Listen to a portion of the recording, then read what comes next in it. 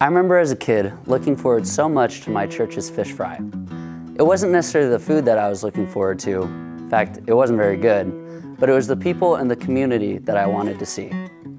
Hi, my name is Donovan and I work for the Pope's Worldwide Prayer Network. In this month of February, Pope Francis asked us to pray for church parishes that they be open and welcoming to all.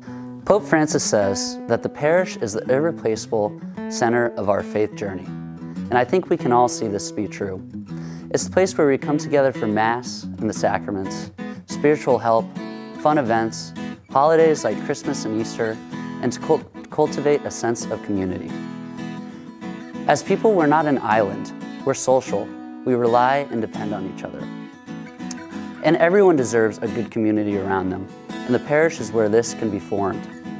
So we should ask ourselves certain questions about this.